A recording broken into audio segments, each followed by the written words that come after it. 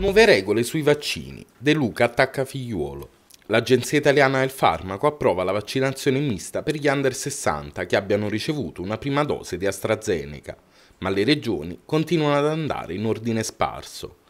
Chi si adegua alle indicazioni e chi continua a dire no al mix di vaccini, chi sospende i richiami con i farmaci a mRNA al posto di AstraZeneca finché non avrà garanzie su ulteriori forniture e chi lascia la possibilità di scegliere se avere o meno la seconda dose con il farmaco anglo-svedese anche se si hanno meno di 60 anni.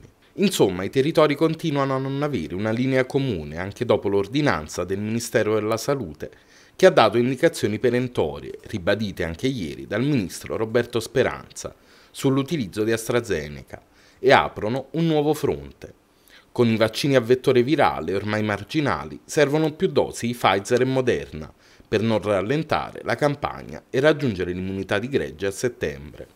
Tante le regioni che continuano a prendere decisioni autonome, fra queste la Campania, dove il presidente De Luca ha pubblicato una nota con dichiarazioni critiche sulle ultime decisioni del governo.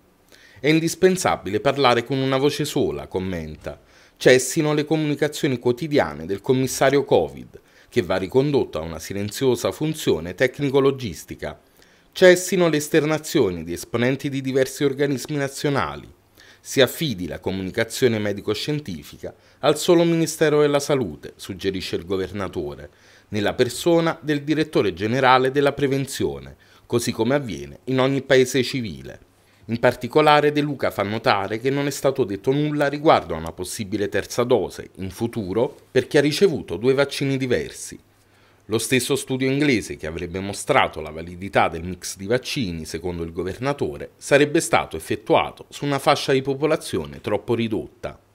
De Luca spiega poi le linee guida stabilite per la campagna. Ai nuovi vaccinati non sarà somministrato AstraZeneca al di sotto dei 60 anni Rispetto al vaccino Johnson Johnson, la posizione del Ministero non è definita in modo chiaro e vincolante, pertanto tale vaccino non sarà somministrato sotto i 60 anni. Prosegue la vaccinazione di massa con Pfizer e Moderna. A chi ha fatto la prima dose di AstraZeneca si dovrà somministrare la seconda dose AstraZeneca solo sopra i 60 anni. Sotto i 60 anni si dovrà fare il richiamo solo con vaccini Pfizer o Moderna. In conclusione, la campagna richiede per l'ennesima volta e sollecita la fornitura aggiuntiva di vaccini Pfizer e Moderna, anche in relazione alla popolazione studentesca da vaccinare.